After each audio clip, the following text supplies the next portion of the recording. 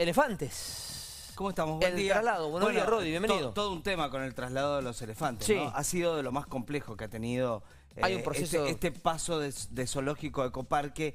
Ha sido de los traslados más difíciles y más, más, más largos, más extensos. Recordemos que en algún momento fueron trasladadas dos elefantes. Claro. ¿No? Eh, recuerdo Pocha y, y se me ha ido el otro Guillermina. nombre. Y Guillermina, gracias. A un Pocha santuario en. Brasil. A un santuario en Brasil. Ahora quedan dos elefantes más, son Kenia y Tami.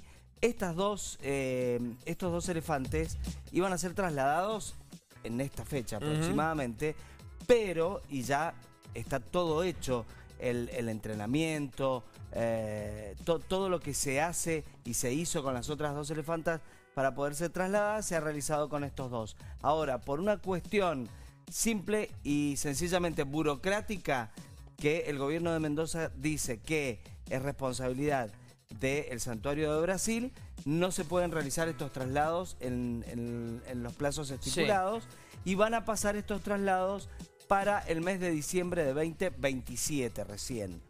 Eh, quedan estos dos elefantes. Tami es un elefante asiático que ya tiene 53 años y eh, no, no, ya, ya vino siendo un elefante grande al zoológico porque venía muy maltratado eh, de un circo. Sí. Entonces, este elefante ya tiene serios problemas Sí, claro. de alimentación previos. Eh, este traslado data de la década del 80, más o menos año 84. Eh, ya tiene problemas de alimentación muy fuertes y problemas psicológicos Claro. que le han quedado muy marcados del maltrato en, el, en, el, en este circo.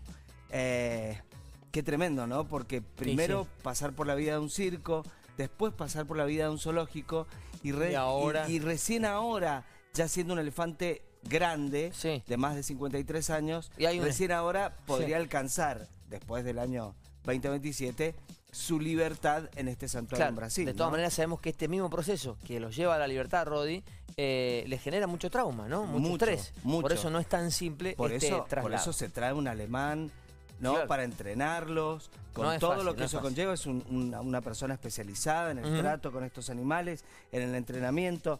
Y la otra es Kenia. Kenia eh, es un poco más joven, tiene 41 años.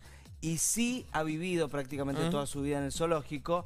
Fue un convenio con otro zoológico alemán. Este elefante, viste que algunos logran nacer en cautiverio dependiendo del trato. Claro.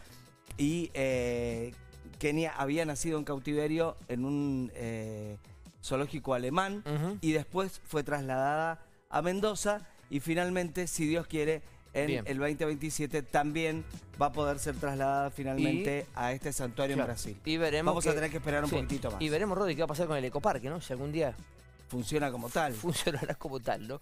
Siete... lo, lo- lo importante, Tano, creo yo, es darle eh, con el tiempo que se necesita a la mayor cantidad de animales la vida que se Por merecen. supuesto, claro ¿no? sí. Pero y el trato ecoparque merecido viene bastante retrasado. con, bastante con retrasado. todo lo que esto conlleva. Sí, sí, Porque totalmente. ya, eh, por ejemplo, en, la- en el caso de, de la vida de Tami, después de lo que ha transitado, prácticamente ya transitó Mm. la mayor parte de su vida en una situación caótica y triste. Entonces, bueno, la idea es darle los últimos años de su vida en la, en la mayor posibilidad de libertad que, que se pueda.